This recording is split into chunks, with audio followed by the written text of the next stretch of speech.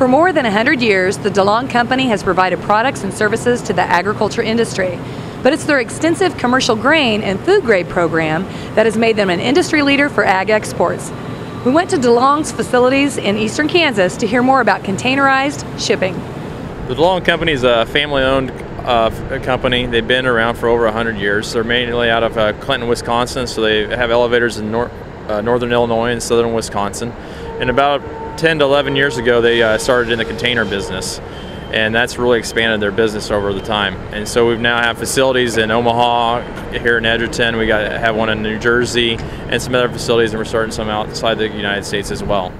When it comes to container shipping, Hanny told us it usually requires tighter specifications with limitations on blending, but it also may allow exporters to get into new market locations that are not able to unload bulk vessels. The other nice thing is, is with our containers, we're able to get to specific customers with across seas, and also help out with the uh, shipping of containers back to a, to a foreign country that has instead of going back empty, it's going back with a, a high quality grain from the Midwest here any producer that comes in here, they will come in and they'll go on our truck scale and we'll, we'll sample their grain just like any other elevator and, and probe it and uh, give, give them a grade on it. And then from there, they uh, go over to our dump pit area and, they, and they're able to unload. And we're, we can dump a semi in about six minutes here. So it's a pretty in and out process.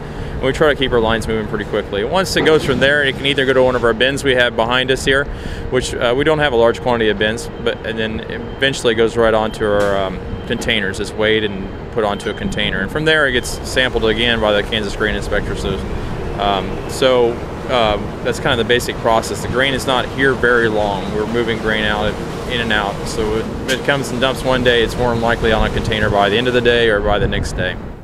With its transcontinental railroad, the BNSF Intermodal Facility provides businesses with a direct connection to the global supply chain.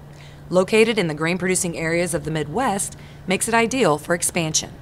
The biggest factor is, is that the, the rail yard is, is built this facility here and they're expanding. They're putting 21 warehouses right around this area and that's going to bring a lot of a lot of containers with products coming from overseas into this area and then there'll be a lot of empty containers to go back and so we'll be right here we'll be able to accept those containers from those warehouses once they've been unloaded and be able to take them back to the rail yard and ship out a product back to a foreign country from here in the mid, mid, Midwest.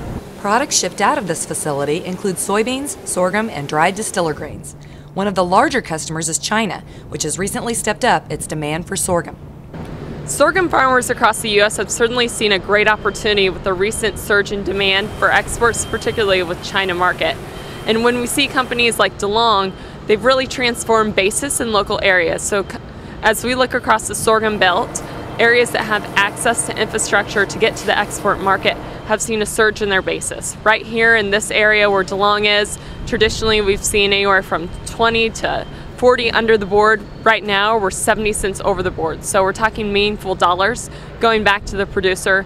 China exports, in fact, are around $1.2 billion just in the last marketing year came back to the U.S. sorghum farmer. Sorghum is a natural fit right now for the China market. China has a robust feed grain demand, over 13 billion bushels. Of that, 600 million approximately will be imported in.